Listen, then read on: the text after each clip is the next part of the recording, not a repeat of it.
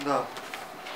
Стихи начинают со сказанных слов, которые находятся смысл и правда. Стихи начинаются с сказочных снов, которые служат нам ночью исправно. Стихи начинают с мелодии нот, которые рождаются новые гаммы. И обязательно пишет их тот, кто вдохновлен обаятельной дамой. Тот, кто смотрит, тот, кто смотрит высоту, жизнь земную понимает. Несчастливые мы тут, нам чего-то не хватает.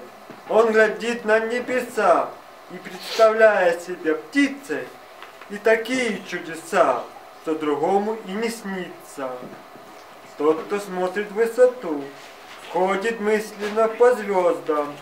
Так другие не живут, он живет, пока не поздно. Вот и я один из тех, кто взглянул разок на небо и представил свой успех и места, в которых не был. На сцену приглашаю.